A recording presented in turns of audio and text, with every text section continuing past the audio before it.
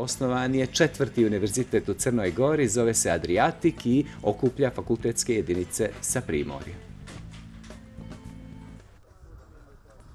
Rješenje Ministarstva prosvjete Crne Gore od 6. marta 2017. izdata je licenca za rad Univerzitetu Adriatik sa sjedištem u Baru, koji obuhvata visokoškolske institucije na Crnogorskom primorju od Ulcinja do Herceg-Novog, Pomorski fakultet Bar, Fakultet za poslovnu ekonomiju Bar, Fakultet za biznis i turizam Budva, Fakultet za mediteranske poslovne studije u Titu i Ulcinju i Fakultet za menadžment Herceg-Novi.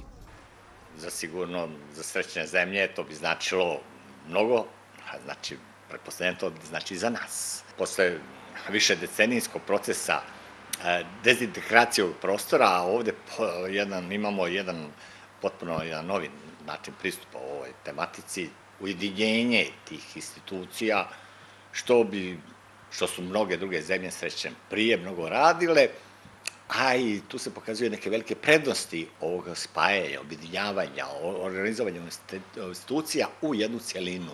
Prednosti su što Primorski region dobija prestižnu visokoškolsku instituciju, čime fakulteti ostvaruju prava koja nije su do sada imali, a dobija se i na kvalitetu obrazovanja. Povoljnost je mogućnost prezentovanja u domaćoj i međunarodnoj javnosti.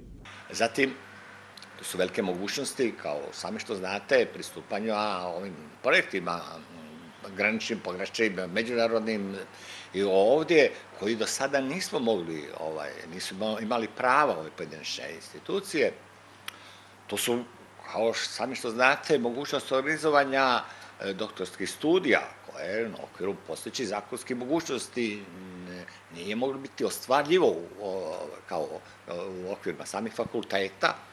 Zatim tu su ovaj, i normalno mogućnost izbora profesora Univerzitet Adriatik omogućit će povezivanje ljudskih i materijalnih resursa. Obuhvata 4000 studenta, među kojima su i oni koji dolaze iz regiona zbog atraktivnih studijskih programa, prvenstveno pomorstva. Vjerujem da će to ponukati lokalne institucije, jer će imati širi izbor studijskih programa od Novoga do Ulcinja, jel, i ovaj, što će se razvijeti cijelo životno učenje, što će biti više projekata, tako da mogu da zadovolje svoje potrebe preko univerziteta, a i za same studente je interesantnije kad im date jednu lepezu, pa biraju.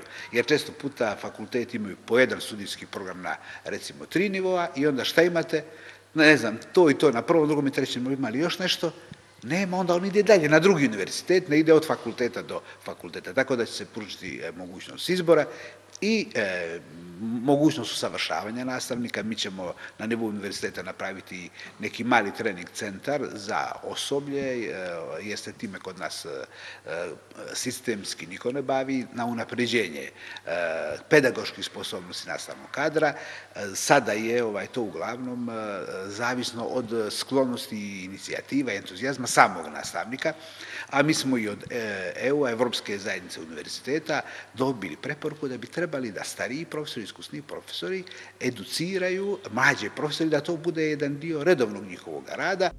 Univerzitet Adriatik, koji sada ima šest fakulteta, očekuje da mu pristupe i ostali samostalni fakulteti, tako da bi u buduće trebalo da ima deset visokoškolskih institucija.